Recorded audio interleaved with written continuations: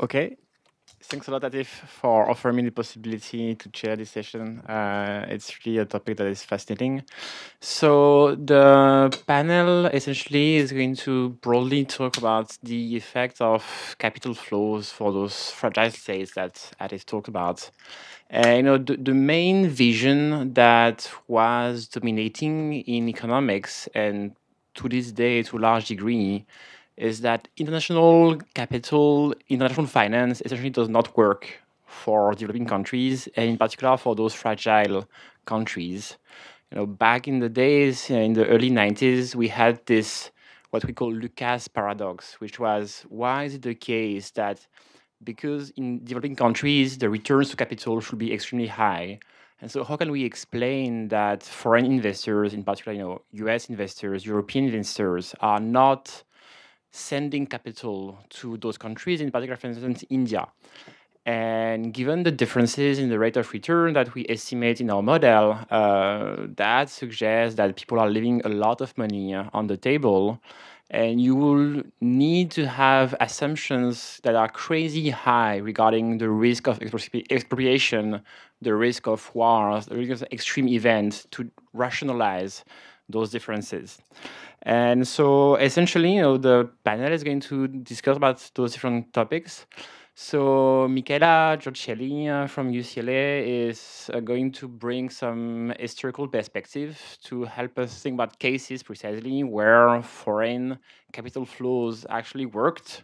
Um, then Jesse Schreger will tell us about why uh, we are probably vastly underestimating actually how much money is invested in those developing countries and why, to a large degree, our broad macroeconomic vision might be completely wrong. Um, thank you, Jesse. Uh, another reason for why uh, international finance might not work is because we probably don't have a good system to deal with cases where countries want to default. You know, uh, we had recently uh, some issues in Argentina and you know, Jesse also work on this question, but in particular, Odette Lienau is going to help us think about what could be some optimal way uh, to find some resolution in case there is a creditor and debtor disagreement. And finally, Brad Setser is going to give us a perspective regarding why, how those developing countries essentially try to deal with this issue, in particular by building very large savings accounts and large reserves that potentially create some instability uh, in the global system. So, Micaela, if you want to start.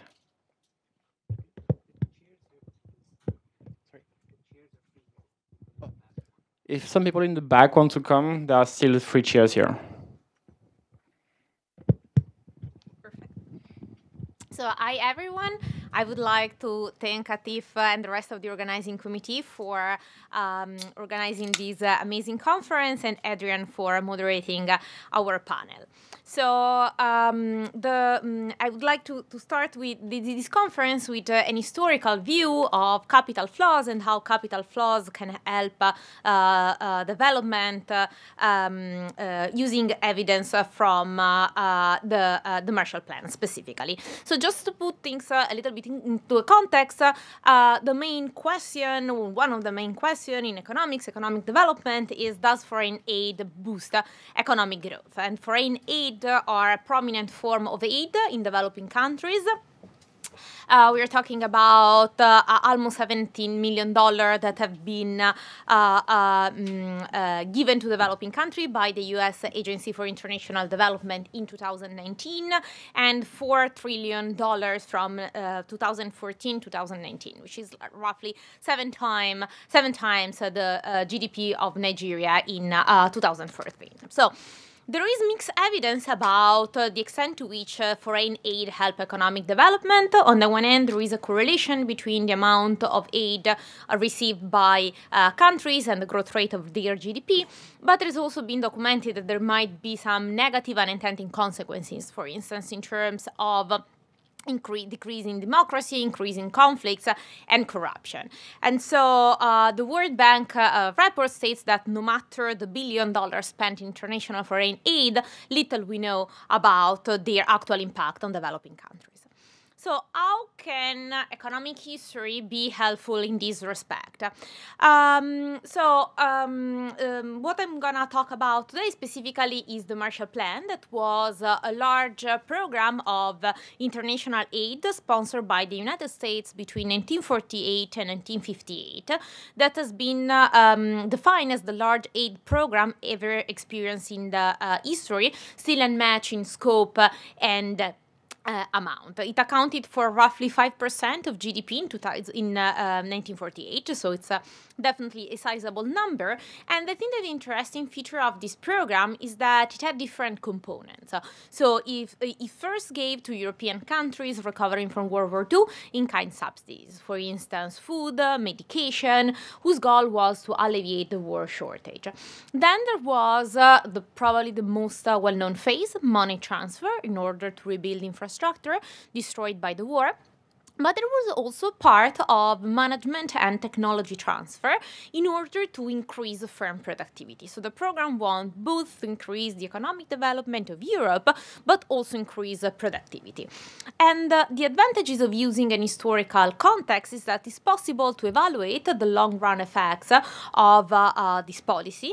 It is possible to disentangle between different effects uh, of impact. Still today, foreign aid usually uh, um, encompass together different interventions so it's very difficult to disentangle the, the, the single component. And it's also possible to exploit some exogenous variation that is given by the specific context in which these programs were implemented.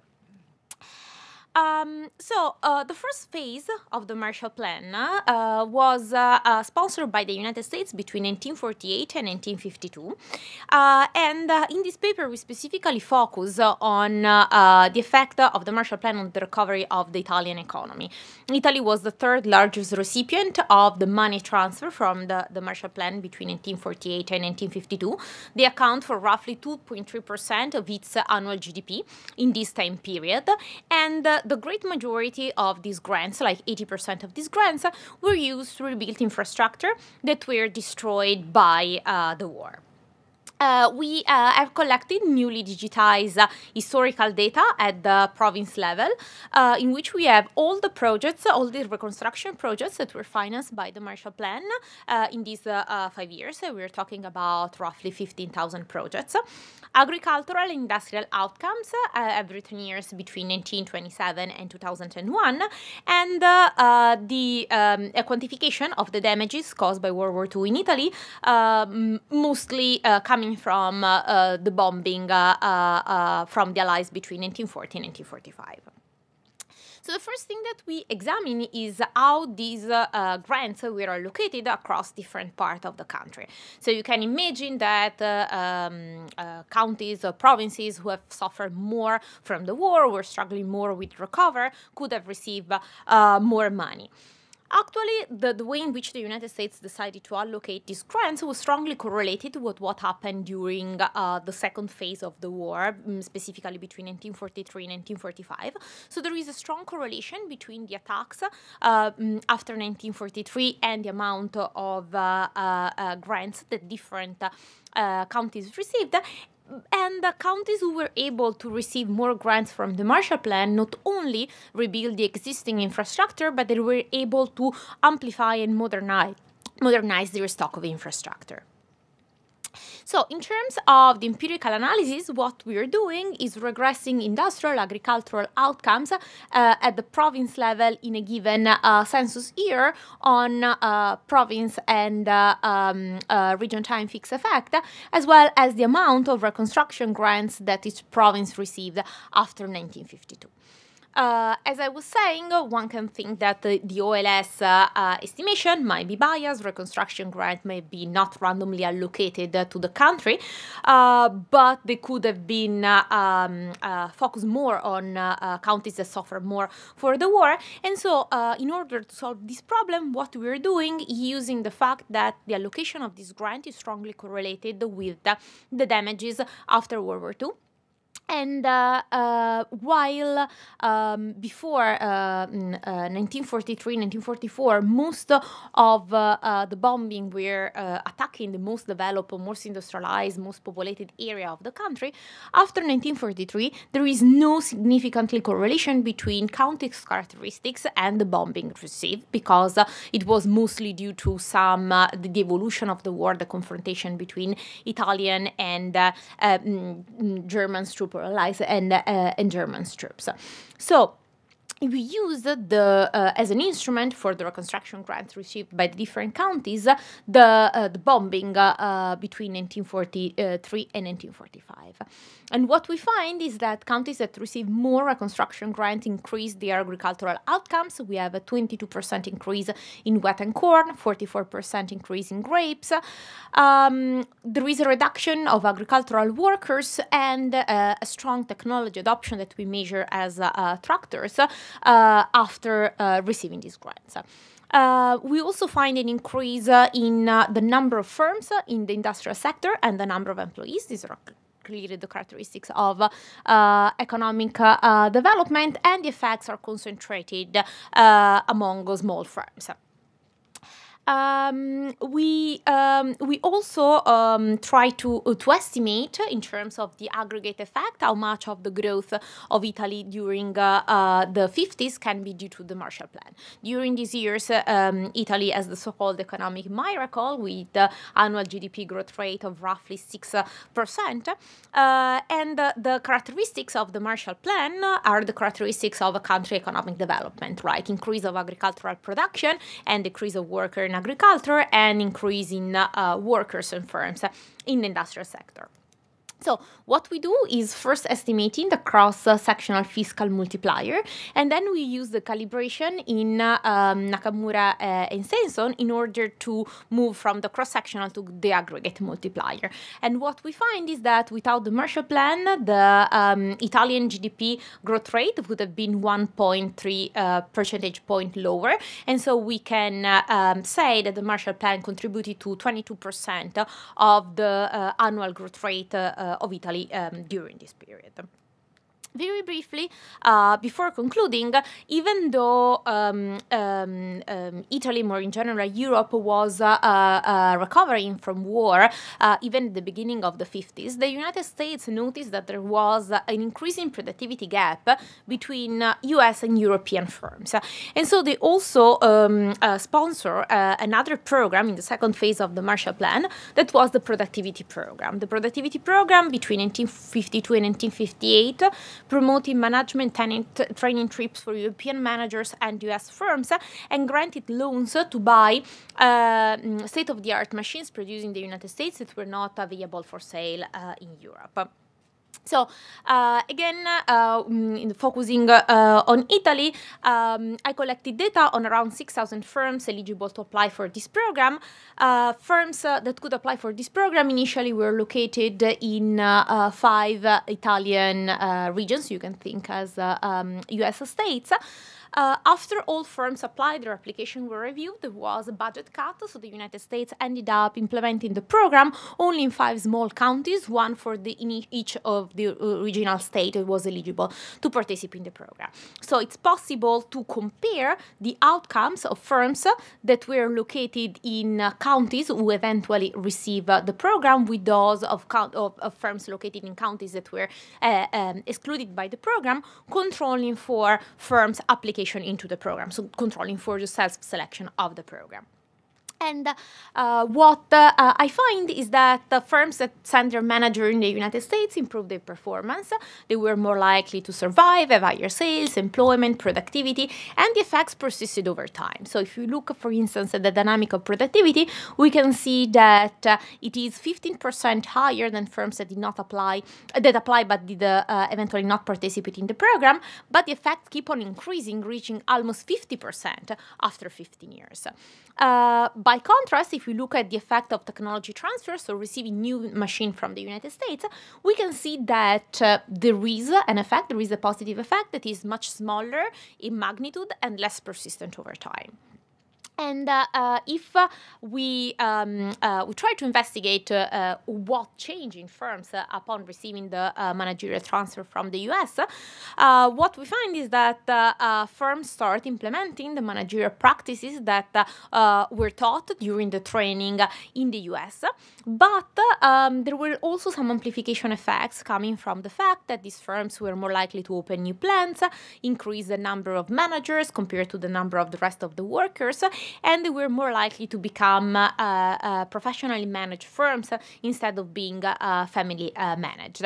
Moreover, they also increased their access to loans, investment, and return on assets. So there were effects that went well beyond the the uh, uh, the adoption, the strict adoption of managerial practices, which uh, can explain why the effects were so big and so persistent over time. So, um, to conclude, what we can learn uh, from the Marshall Plan uh, in terms of uh, um, uh, development. Uh, so, first of all, uh, I think there are similarities between Europe after World War II and developing countries today. If we look at the level, the growth rate of the GDP during the 50s was very similar to some countries today, like India or other Southern Eastern Asian countries. and there were also some um, similarities in what what is the, the most important needs in these countries. For instance, uh, um, uh, building infrastructure, building uh, transportation system. Moreover, the content of managerial training did not dramatically change over time. Some principles that were taught in the 50s are still uh, taught today in business training programs that are usually implemented uh, in developing countries. Uh, the Marshall Plan has some specific features that can explain why it was so successful. So, first of all, there was a strong cooperation between the US and receiving countries.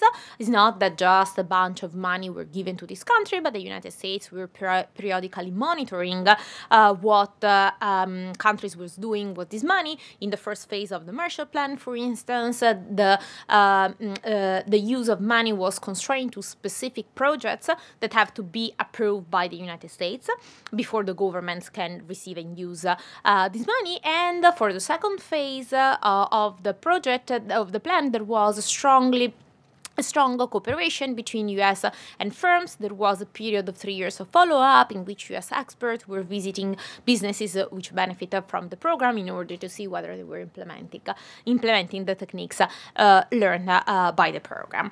I think that uh, in, interpreting, in interpreting these results, uh, we also should take into account the fact that there are some important differences between Europe after World War II and developing countries today.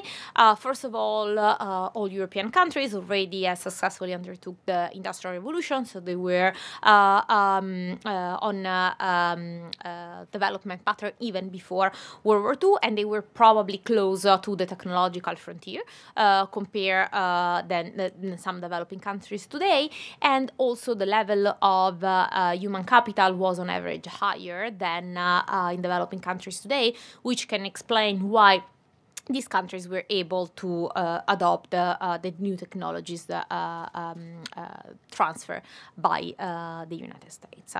Um, so I think I'm out of time, but I'm also done. So thank you very much for your attention.